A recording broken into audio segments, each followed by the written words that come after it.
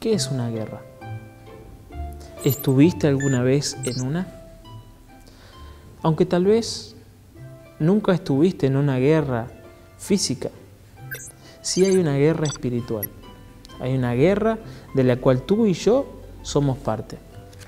En este libro, El poder de la esperanza, nos muestra acerca de esa guerra de la cual nosotros somos partícipes y todos los efectos que trae a nuestra vida.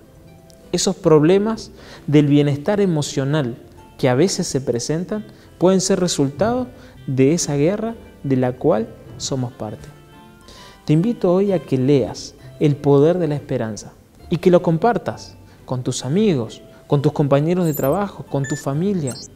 Búscalo en la página de internet que te presentamos a continuación o consigue el libro físico y sabrás de qué guerra somos parte.